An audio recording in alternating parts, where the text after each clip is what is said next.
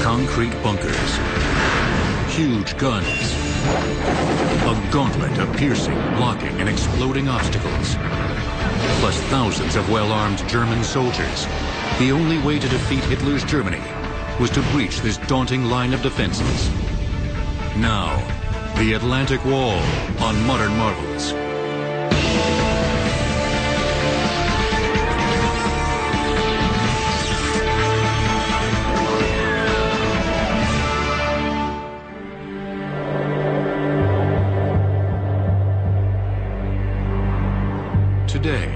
Scattered along the coast of Western Europe, lie remnants of the vast fortifications erected during World War II to protect Hitler's Germany against an Allied invasion. In France, along the Normandy coast, the beaches are quiet now, except for the winds that blow off the English Channel and the waves that brush against the shore. Guns and tanks that remain are rusted or on display in museums that safeguard the memory of what happened here on June 6, 1944. D-Day. It's the most important day of the 20th century. And everything before that led up to D-Day. Everything since has been a consequence of what happened on D-Day. It was the day that the Allied armies of America, Britain, and Canada breached the barrier that made an entire continent a fortress. Hitler's Atlantic Wall. The Atlantic Wall was one of the great walls of history. There are many great walls, the Great Wall of China, the Roman Wall, which walled off the barbarians from the Roman Empire, and then the long, long wall that Hitler built from Norway, the entire Atlantic coast, to try to block Europe off from the Americans and the British.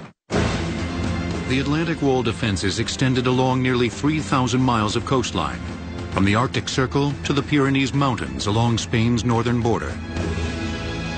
The Atlantic Wall was not a continuous barrier, but rather a series of fortified locations. Between the man-made defenses, precipitous cliffs and rocky shorelines provided natural barriers to keep invaders at bay. The most imposing features along the Atlantic Wall were massive concrete bunkers built to protect the all-important guns installed there to destroy an approaching invasion fleet. The heaviest artillery was a 40.6 centimeter gun. Uh, there were several of them, seven in Norway and three in uh, France. There were Navy guns uh, shooting quite precise over a range of uh, maximum 30, 35 miles. Bunkers were also designed to serve as observation posts, ammunition stockpiles, communication centers, troops' quarters, and to store supplies and food to sustain the men stationed on the wall. Here, south of uh, Ostend in, in Belgium, uh, lies a typical stretch of uh, Atlantic Wall construction. What you see there is the fire control post of a coastal battery. What you see here is an emplacement with a, an anti-aircraft gun. And very special, because it's still there, a system of covered trenches. These are normal trenches, but covered, protecting soldiers running forth in these corridors, and also protecting uh, the site from the air. To help obscure the bunkers and guns from Allied aerial reconnaissance, the Germans blanketed them with camouflage netting. From the air, Allied observers could see the array of obstacles designed to block an invasion on the beaches. But hidden beneath the water's surface, often lurked a menacing gauntlet of death and destruction. During the war, the challenge for the Germans was to block every possible uh, attempt of invasion by the Allies. And uh, for that purpose, they didn't only build thousands of bunkers, but they covered uh, literally the beach with uh, hundred thousands of uh, beach obstacles. Not only obstacles, but also kilometers, thousands of kilometers of barbed wire has been used on, on the Atlantic Wall, between the bunkers, between on the fields, and do not forget the mines. About more than six million mines have been placed all over the coast. The Atlantic Wall was a fortification of such magnitude that only the most ambitious and audacious attack in the history of warfare could possibly defeat it. During the first few years of World War II, German defeat seemed almost impossible. Adolf Hitler's war machine appeared unstoppable. In the 1930s, the Fuhrer had seemed an answered prayer to a Germany left battered and bankrupt after World War I. Hitler promised a way out of despair through conquest. In 1939, he unleashed his army against the nations of Europe.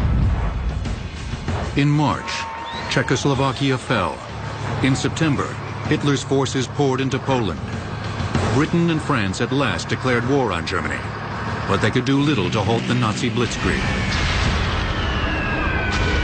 Hitler's armies marched almost unchecked in the first years, starting with Poland, cleared his eastern frontier, then Scandinavia, Denmark, and Norway. From there on into the Low Countries and France, most of Western Europe fell under his sway. If you had penetrated La France, you would roll and roll and roll and roll, and it was almost impossible for your opponent uh, to stop you. After a year of conquests, all that separated Britain from Nazi domination were the frigid waters of the English Channel. But for England, the Channel was still an effective moat. In 1940, to prepare the way for an invasion of Britain, Hitler's Luftwaffe attempted to bomb England into submission, raining death from the skies in the Battle of Britain.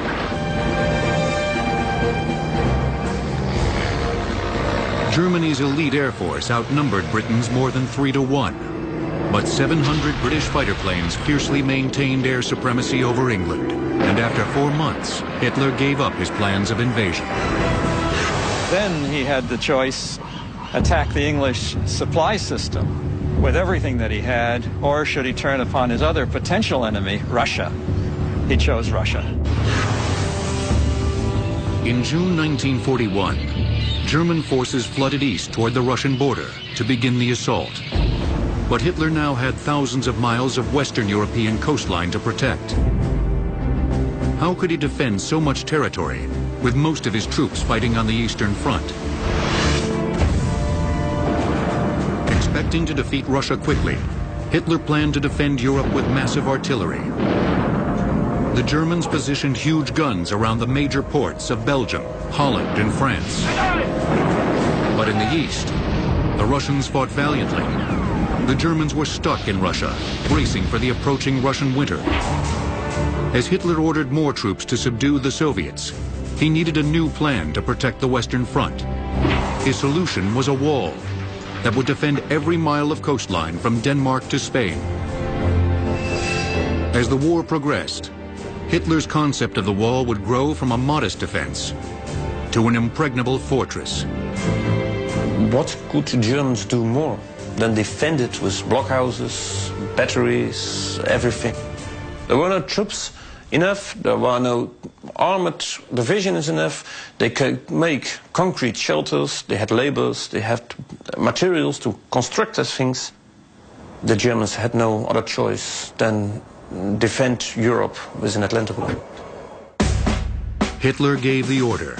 The challenge was how to execute it, with limited resources, in occupied territory, in the middle of a war. The Germans had been in World War I, and they knew how to dig ditches, and they knew how to put trenches in place, and they knew the kind of fire they needed to hold a position, and they put all of that to use. The first goal was to fortify ports that could be used by the Allies to land troops, divisions, armies. So from the northern part of Holland to the southern part of France, the major ports and U-boat bases were fortified. The Germans concentrated their early construction efforts on the French coast, off a strait called the Pas de Calais, where the English Channel was narrowest. From a practical standpoint, this was the most likely route for the Allied invasion force. From Calais, the Allies could march straight to Germany, only a few hundred miles away. On December 7, 1941, as the Japanese launched its devastating attack on Pearl Harbor, the face of the war changed abruptly. An enraged America declared war on Japan. Three days later, Hitler declared war on the United States. And we don't know why. Nothing made him do it. But he did it. And when he did it, he was making a bet that the Hitler youth are going to always outfight those soft, effeminate Americans who have been brought up in the Boy Scouts. Although many Americans were anxious to strike back at Japan, the United States and its new allied partners agreed to make Germany's defeat the first priority. The basic strategy was laid out within a month or so after uh, Pearl Harbor. And that was Europe first, cross the channel, go to the heart of Germany. That was our basic strategy from the very beginning. In August 1942, the Allies launched a raid on the French coast at the port of Dieppe, in part to appease the Russians, who were insisting that their Western allies waste no time opening a second European front. The Dieppe raid, executed by 6,100 Canadian, British, and American troops, was designed as a one-day attack to inflict enough damage on the coastal defenses to draw at least some Germans away from the Eastern Front. It turned into an object lesson, revealing their unreadiness to launch a major invasion.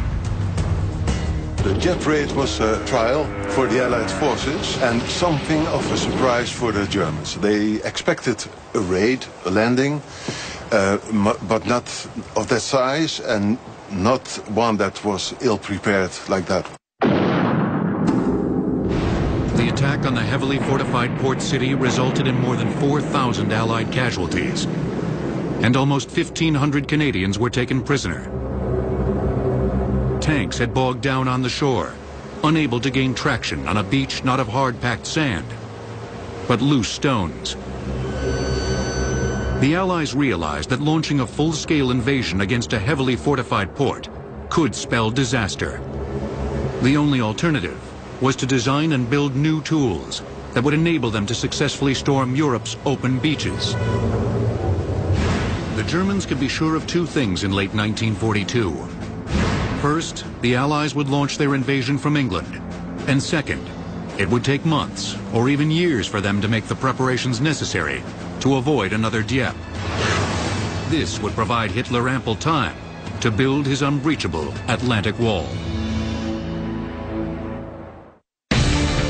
To fortify the Atlantic Wall, the Germans used more than a million metric tons of steel, enough to construct 60 skyscrapers, each the size of the Chrysler Building. The Atlantic Wall will return on Modern Marvels.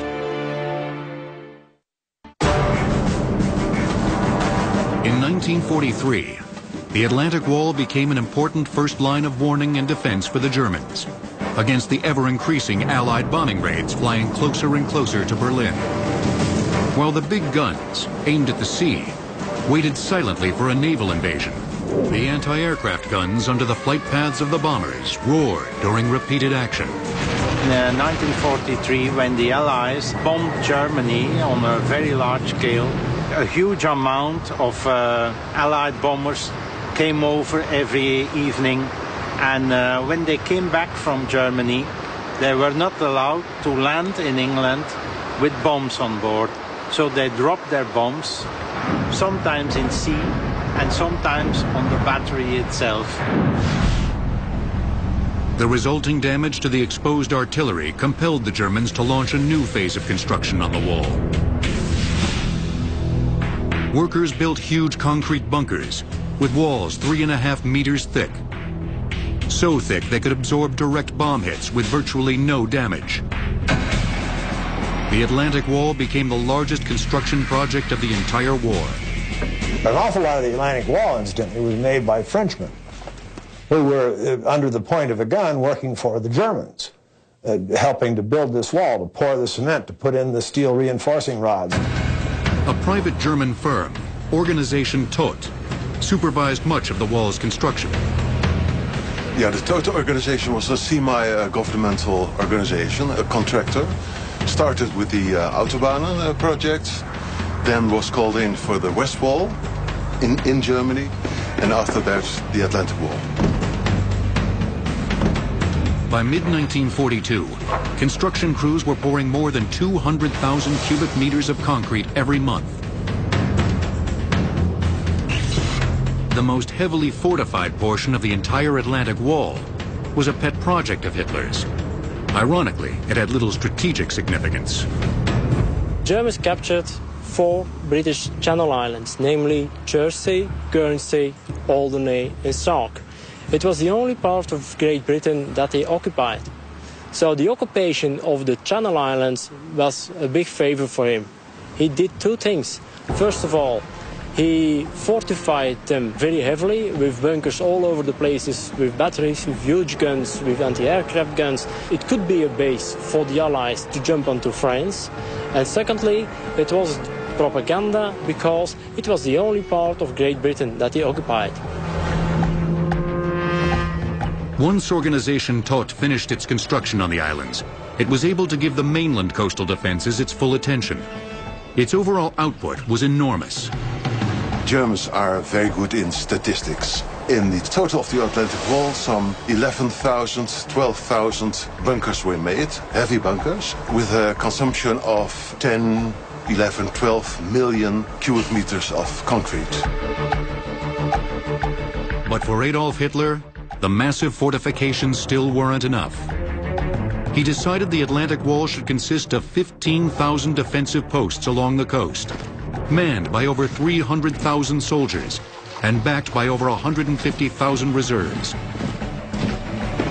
But Organization Todt anticipated that it would be able to complete only 6,000 defensive posts by June 1943. Hitler's goals for troop deployments on the wall were also falling short and units already stationed there varied greatly in strength, training, and experience. The major forces of the German army, the young guys, strong guys, were in action in the desert and on the Eastern Front. Now, to populate the Atlantic Wall, they used the older guys and very young guys, and also uh, foreign volunteers like Russians, Italians, and, and all that kind of people. Germany's best weaponry was reserved for the Eastern Front. The artillery of the Atlantic Wall was supplemented with captured guns. This is a Belgian gun, 12 centimeter gun, used by the Belgian army in uh, very small uh, quantities. And it was captured by the Germans in May 1940. And there was just one problem with these guns there was a very limited stock of ammunition for the Germans. For the German soldiers stationed along the Atlantic Wall, military duties took a back seat to construction projects. It's very, very remarkable that in a short time the, the Germans built a lot of constructions. Uh, little bunkers, but also very big bunkers. It's remarkable. But maintaining momentum became increasingly difficult. The Allied air campaign devastating Germany forced workers along the Atlantic Wall back to the fatherland, where they went to work rebuilding a crumbling infrastructure. The Germans suffered a further setback after the British General Bernard Montgomery scored an important victory over General Erwin Rommel, the Desert Fox, in North Africa. Victorious Allied troops there were a new threat, poised near France's vulnerable Mediterranean coast. In response, the Germans stretched their resources thinner, fortifying some 400 miles of Mediterranean shoreline. In late 1943, with the possibility of invasion growing with each passing day, Hitler asked Field Marshal Rommel to evaluate the coastal defenses. My father had, uh, among the German generals, the, uh, the greatest experience in fighting with British and American troops. And so he uh, received the order to inspect the defense facilities. Rommel toured the wall from Norway to the Pyrenees. He examined mile after mile of bunkers, gun emplacements, fortifications, and found them woefully inadequate. Something had to be done, and quickly. There was too much coastline to protect, and too little time. The race was on to bolster the Atlantic Wall before the Allies appeared on the horizon. Dutch architect Jaap Penraat smuggled 400 Jewish men to safety by convincing the Nazis they were slave laborers for the Atlantic Wall. The Atlantic Wall will return on Modern Marvels. In early 1944, the Germans began to bolster the porous Atlantic Wall defenses. German Field Marshal Erwin Rommel's plans went beyond more bunkers and guns. Miles and miles of barbed wire soon ensnared the coast, and a grotesque assortment of obstacles were placed on the beaches and concealed by high tides, all designed to destroy, or at least slow down, landing craft, so machine guns and artillery had more time to decimate the invaders. Now this is a, a nutcracker mine. It's a very simple device with uh, uh, assembled from uh, steel girders and uh, with a piece of rail. These were placed on the beach uh, between the high tide and the low tide. When a boat hit the obstacle, this rail exploded a large shell that was attached to the device. Simpler obstacles, nicknamed hedgehogs by the Allies, were three metal girders bolted together. They were first made by the Czechs to help protect their border from the Germans. During the war, these hedgehogs were brought over by the Germans in large quantities and placed on the beaches along the Atlantic Wall. Uh, sometimes uh, they were just meant to stop landing boats. Sometimes they had mines or other devices attached, just as these uh, tetrahedra here. You can find them in concrete. Usually they had the teller mine attached to the top. Belgian gates were first used in Belgium as anti-tank barriers. The Germans saw the value of making them part of the Atlantic Wall. The almost elegant gate-like design was actually a sturdy steel construction. Placed individually, they offered little resistance. But when linked together by the coupling hinges on each side, they created an effective barrier against troops and armored vehicles. Rollers at the base of the gates allowed the barrier as a whole to flex instead of break and withstand a tremendous amount of force. In their desperate effort to block or blow up any invader, the Germans added a thicket of the most primitive obstacles imaginable. The Germans literally raided the woods in Belgium and France and uh, thousands of these uh, wooden posts were placed on the beaches. On top of it, usually they placed a teller mine or a shell, and some of these devices could even rip off the hull of the boat. At the end of 1943, about the same time Rommel was assigned to the Atlantic Wall, the Allies were deciding who should lead the unprecedented effort to breach it. The logical choice was General George Marshall, head of the Joint Chiefs of Staff. But the job of Supreme Allied Commander went instead to General Dwight Eisenhower. He was given a very simple set of marching orders. You will enter the continent of Europe in conjunction with other Allied powers, uh, straight to the heart of Germany. Plans for the invasion of Europe, codenamed Overlord, were well underway before Eisenhower's appointment. A three-division assault had been proposed that called for an invasion of the beaches between the ports of Le Havre and Cherbourg. Eisenhower, consulting with British General Montgomery, the commander of the British and Canadian ground forces, quickly concluded that the plan was inadequate. Eisenhower and Montgomery had developed a pretty good standing operating procedure, and one of the one of the principles is swat a fly with a sledgehammer. So they took a look at this uh, narrow front with, they said it's not enough, both of them. But they were absolutely unanimous that it had to be five divisions rather than three. An equally crucial decision for the Allies was selecting their invasion site. The Allies started with reconnaissances of the whole French and Belgian coast, aircraft reconnaissances, and they sent also out small submarines with divers. They came ashore to take little pieces of the sand to investigate in laboratories to see if the, the sand was strong enough to keep tanks and another equipment. And finally, they, they've chosen for Normandy because there are, in some part of it, very large sandy beaches. Normandy, however, had major disadvantages. The Allied Armada would have to sail across 120 miles of the English Channel. a distance more than five times farther than a route to Calais. And landing at Normandy would also place the Allies farther from their ultimate target, Germany. Still, Normandy offered one distinct advantage.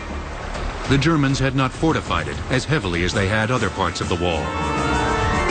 The Germans assumed that the Allies would need a port very quickly after an invasion in order to support an invasion deep into the empire of Hitler. The Allies realized that Normandy was not a good place for that, as did Hitler, but they had ideas to compensate for that. They could bring their ports with them. All over the British Isles, engineers were secretly building huge concrete caissons, floating piers, and sections of pontoon roadway. These were the building blocks of portable modular harbors, codenamed mulberries. When the invasion began, the pieces would be towed to Normandy and assembled into two functional harbors. I think each one of those artificial harbors could handle up to uh, 10,000 tons a day over the beaches. Workers in America's war factories were busy designing and building a variety of specialized shallow bottom landing craft to enable the quick unloading of men and equipment right up on the beaches. The largest were 300 foot long landing ship tanks, or LSTs. Landing ship infantry, or LSI, could hold as many as 150 soldiers. The smallest craft which would transport the first wave of troops were called Higgins boats, named after their inventor in Louisiana.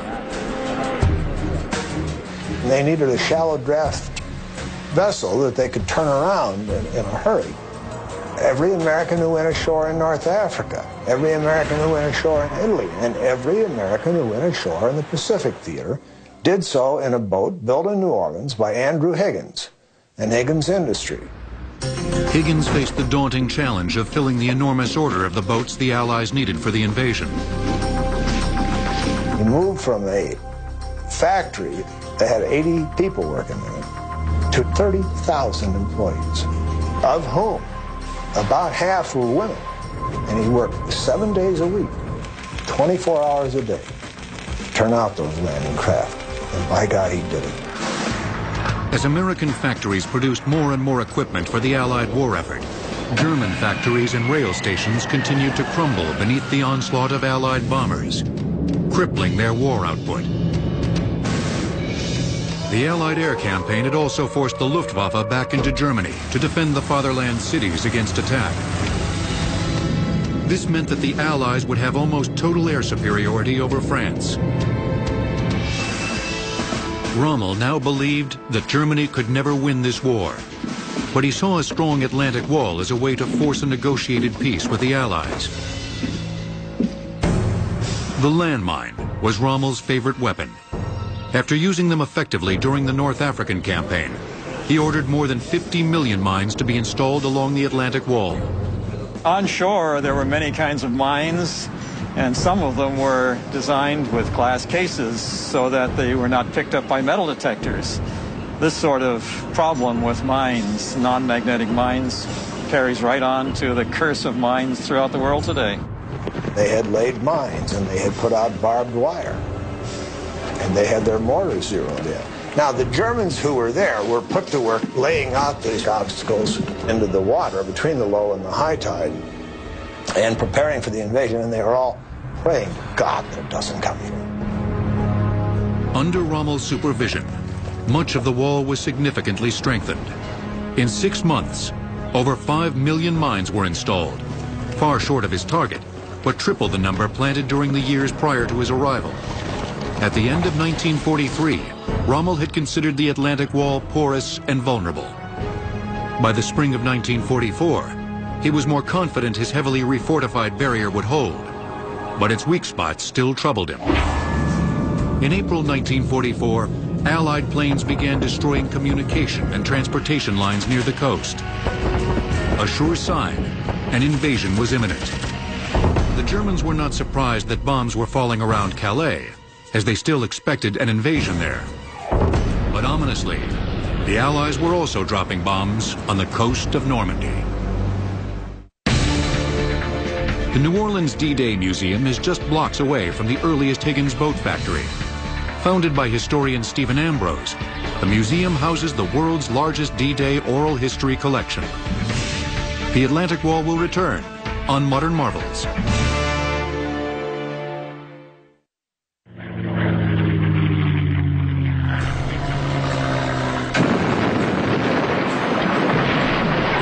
In the spring of 1944, Allied bombs battered western France. The devastating attacks deeply troubled German Field Marshal Erwin Rommel, who was spearheading the construction and defense of the Atlantic Wall. My father believed that German strategy should change fundamentally because uh, he experienced the efficiency of uh, the Allied Air Force in Africa. Rommel's deep concerns about Allied air power put him in direct conflict with German General Gerd von Rundstedt. There's a strange uh, situation. Rommel was inspector of the fortifications. Von Rundstedt was his boss. Rommel wanted to fix the front. Von Rundstedt was a military of uh, the old school who believed in mobile warfare with maneuvering armies. Rommel knew that despite the speed and mobility of Germany's panzer divisions, Allied air power could easily destroy them. So he decided to take his case to Hitler. So my father said we cannot afford to fight a mobile battle against the British and Americans. We have to, to we should try to win the battle in the first days at the shore, at the coast. But Hitler never resolved the conflict. Instead, as he had done before, he used disagreements between his generals to solidify his own power. He put himself in charge of the defense plans. When the invasion came, Hitler would dictate strategy. Now, Rommel was not a Nazi. Neither was Rundstedt. But Rommel, in fact, was trying to convince Hitler, quit. Make a surrender now while Germany still got something to trade. But Hitler was determined to continue the war. For him, the war was and always would be all or nothing. Although the Germans were now aware of the Allied buildup in England, they still didn't know where the invasion force would land. To keep them guessing, the Allies launched an intricate deception operation called Fortitude. The plan was designed to trick the Germans into believing that the invasion would target the Atlantic Wall at Calais.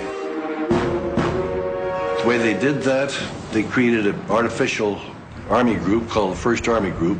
General Patton was there in the United Kingdom, and he'd been making speeches and getting himself in trouble. So everybody, everybody knew Patton was there. They put out these rubber fake weapons and fake tanks. It's just enough so they could be seen from the air. Another key element of the operation was spreading misinformation through German spies in England, who had been exposed and coerced into becoming double agents. The British said, you guys, it's either going to be a bullet right into your brain or you're going to work for us. And these guys said, well, we'll work for you. The double agents helped convince the Germans of what they already suspected. The Allies, led by Patton, would attack at Calais. So how successful was Fortitude? It couldn't have been more successful. The Allies could not have asked for more.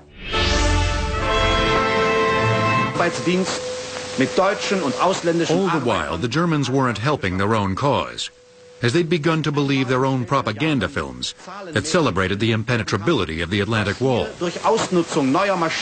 Great photographs taken of the huge guns. Of course, there weren't very many of them, but they photographed the same guns many times.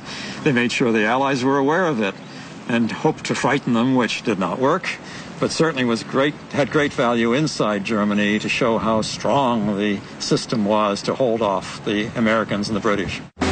Meanwhile, General Eisenhower and the Allies were making final preparations for D-Day.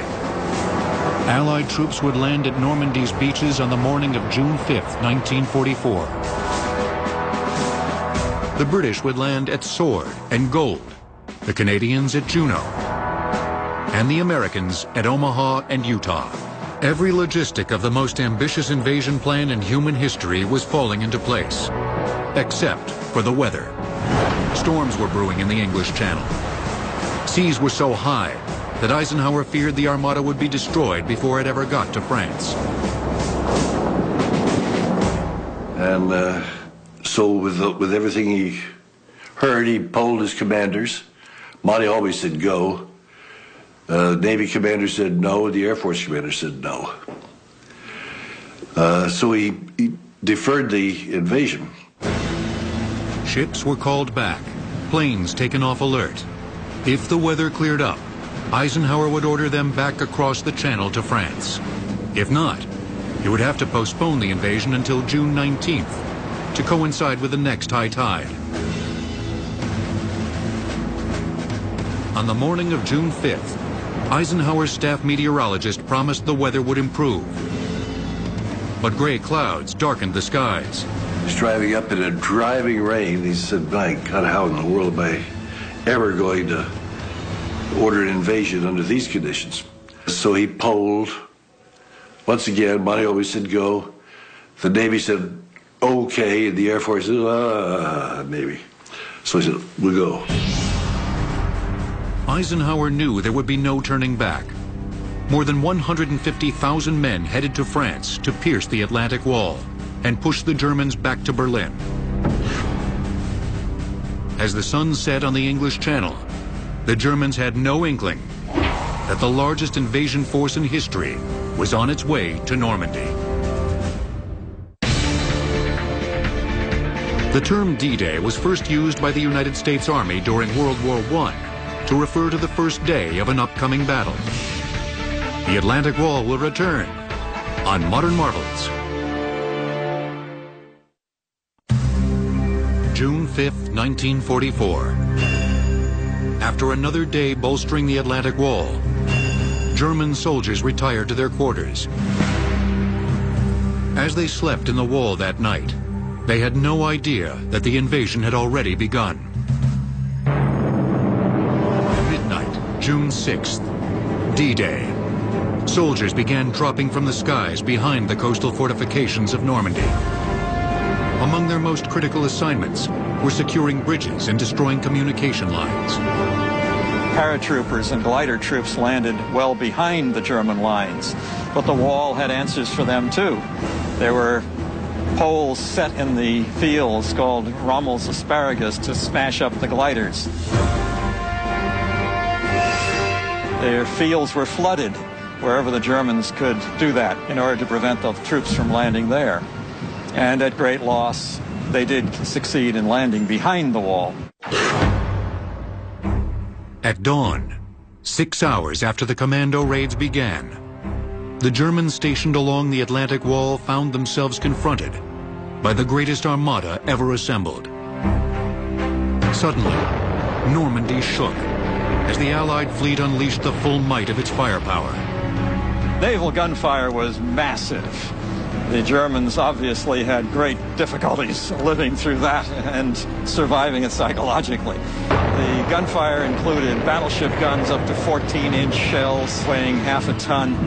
There were cruiser shells, there were destroyer gunfire, rocket fire. Uh, the beaches were blanketed, but the deep bunkers were largely safe. At Sword, where the British would land, the heavy bombardment was a success. But on other beaches, especially Omaha, the defenses the Allied soldiers now approached were still intact. They got just clobbered, just clobbered by German machine guns, by German mortars, by German 88s that were flying across the beach. And, and they just took horrendous casualties. Allied soldiers approaching the shore in Higgins boats were caught in the hail of German gunfire. A shell hit the front end of the boat that I was on and knocked the ramp right off. Lieutenant Dixon was sitting in front of me and he went down and the one in the left compartment is bleeding around the head and he was screaming, get off of the boat. And Lieutenant Labowitz, he was the first one I saw get hit. He was the lieutenant on my boat. He fell in the water. I held his head up out of water until he died. Close to shore, deadly beach obstacles added to the mayhem.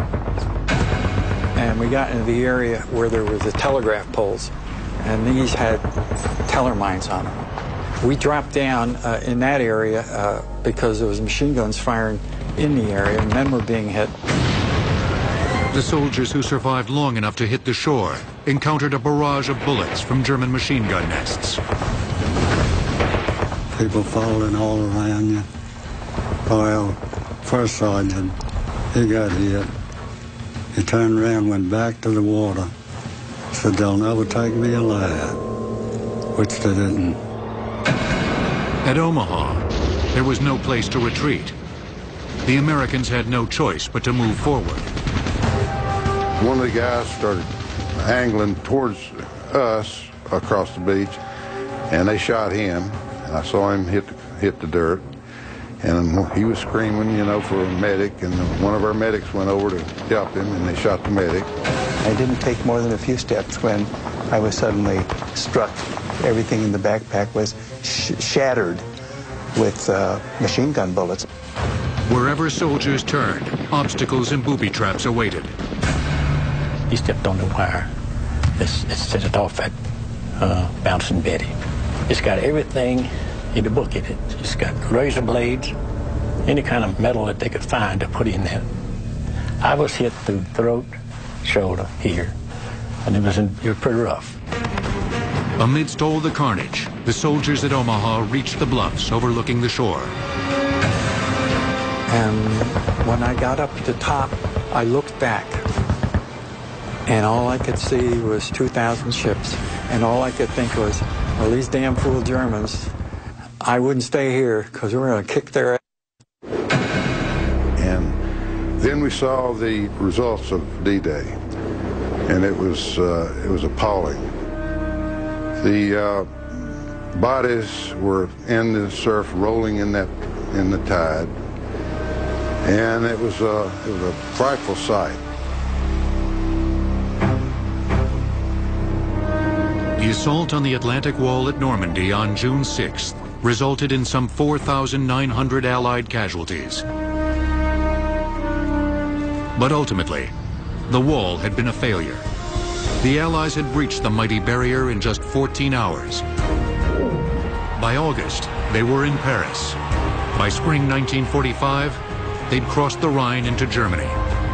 You want to know why the Atlantic Wall failed? Because of the people who went against it. That's why it failed.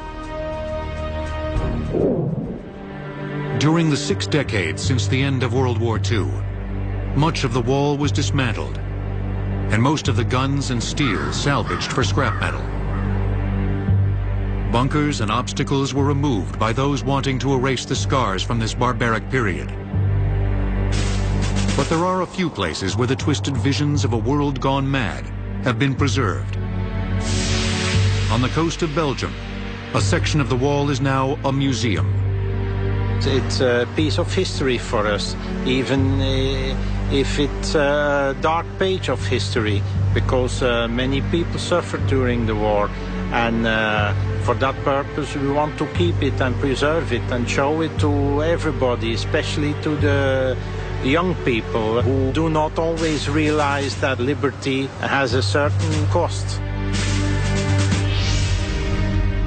Nowhere is that precious cost more apparent than on this hallowed ground above the beaches of Normandy.